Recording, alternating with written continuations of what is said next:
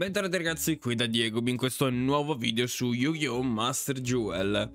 Oggi parliamo nuovamente di un problema del gioco. A dire il vero di questo problema avevamo già parlato due settimane fa qui sul canale, ma non è cambiato nulla all'interno del gioco, anzi la situazione è solo che peggiorata.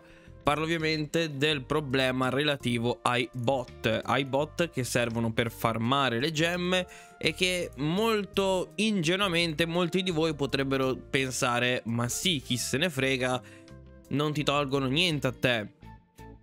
Mm, non funziona proprio così, eh, però ecco, vediamo insieme che tipo di bot è questo prima di tutto iniziate a mettere subito, sin da subito appunto, un mi piace per supportare il canale e iscrivetevi se ancora non l'avete fatto.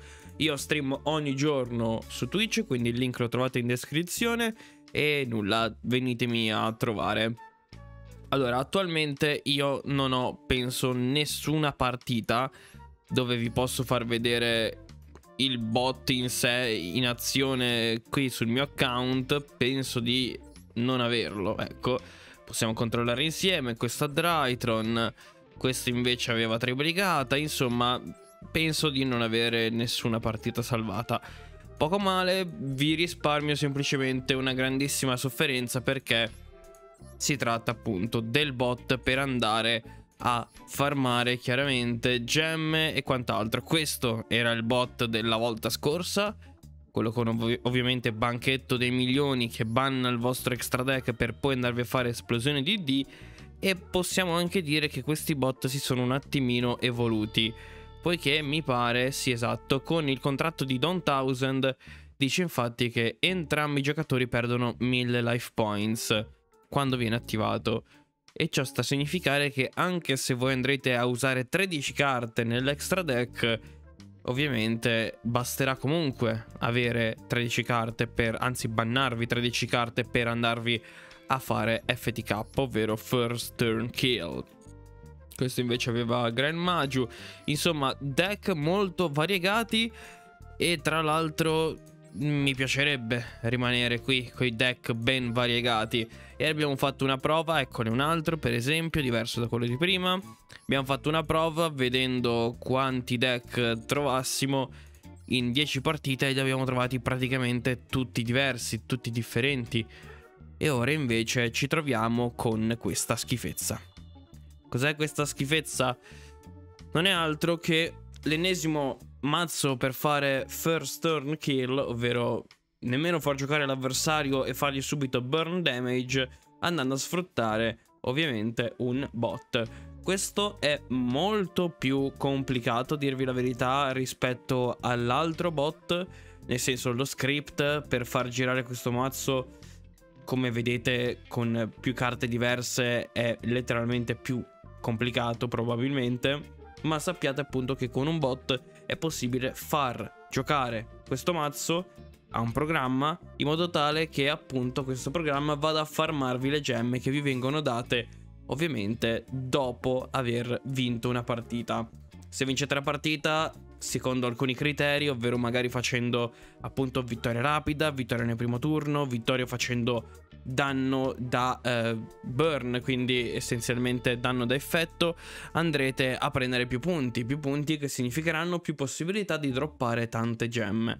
Ovviamente il drop di gemme va da una gemma a 50 e se beccate appunto il roll giusto da 50 gemme siete mega super fortunati. Come funziona questo deck? Innanzitutto c'è da dire che è più facile da bloccare rispetto all'altro perché vi basta un Ash Blossom ben tirata e letteralmente lui si ferma. Però sappiate che funziona andando a piazzare la sua scala pendolo per poi andare a prendersi il cavaliere sublimazione che è proprio questo qui vicino al reinforcement of the army e lui insieme al squeak andrà a fare il buon e caro Alchifibrax oppure Isolde dipende il suo fine ultimo diciamola così è avere Cyberstin in modo tale da cambiargli il tipo grazie a questa magia qui, eh, anzi andargli a cambiare il tipo con Reprodocus, equipaggiargli questa magia qui psichico che eh, dice che i mostri psichico non devono pagare life points per attivare i loro effetti essenzialmente. Quindi Cyberstin, non essendo once per turn, va a fare fusione fino a 4 o 5 volte senza pagare 5.000 life points. Ciò sta a significare che non solo vi porta l'usignolo qua, il Nightingale, che fa danno, come saprete, da eh, effetto, ma vi porterà anche magari, anzi porterà a loro, perché voi questo deck non lo dovete fare, non lo dovete usare, porterà anche il Re Supremo, la fusione Vento Strega dovrebbe essere questo, e anche i due DDD, che andranno a copiare il nome di Nightingale e a usare il suo effetto loro copiano letteralmente l'effetto, il nome di Nightingale e possono utilizzare ancora una volta il suo effetto di fare danno da appunto effetto. Burn damage.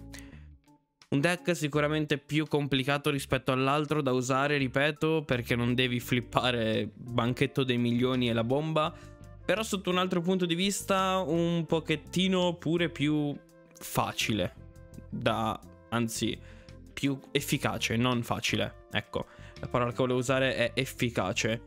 Questo è sicuramente più sicuro rispetto all'altro, anzi è, è proprio un deck che già tanti conoscevano, che veniva usato, non è un deck nuovissimo, ecco. Però mi dà fastidio sempre vedere le stesse cose su questo gioco perché, vi ripeto ancora una volta, siamo al quarto mese, tra 15 giorni sarà il quarto mese di gioco ufficialmente. E mi dà fastidio il fatto che Konami, oltre a non aver ancora aggiornato il gioco, usciranno domani le carte nuove e si parla solo di carte nuove perché probabilmente la banlist non arriverà poiché la season è già iniziata. Le nuove carte sì, arriveranno per forza, sono state annunciate, però appunto non arriveranno i nuovi rank perché la season è già stata avviata, quindi probabilmente si parla per la prossima dei nuovi rank.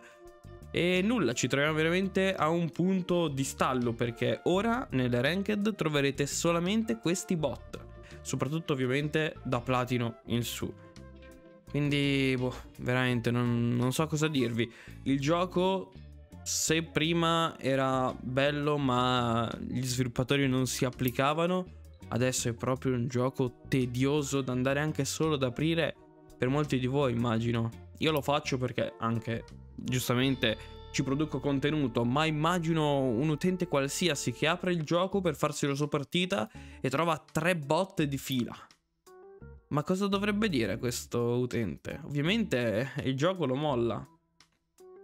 Oppure ancora peggio pensa che questi deck siano efficaci e quindi se li va a craftare.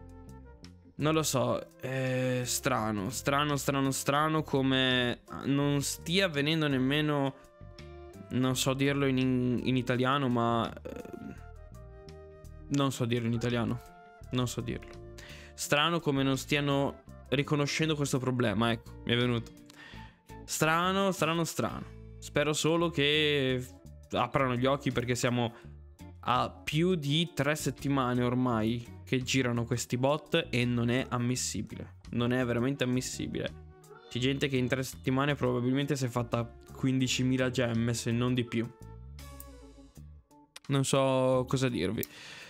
Detto ciò ragazzi miei fatemi sapere qui sotto con un commento cosa ne pensate Iscrivetevi se ancora non l'avete fatto E mi raccomando state lontani da questi bot Perché veramente sono di una palla assurda Iscrivetevi se ancora non l'avete fatto, io vi trovo sempre in live su Twitch, quindi venite a fare un salto e nulla. Qui da Diego per oggi è tutto, e ci vediamo ovviamente in un prossimo video. Ciao ragazzi miei.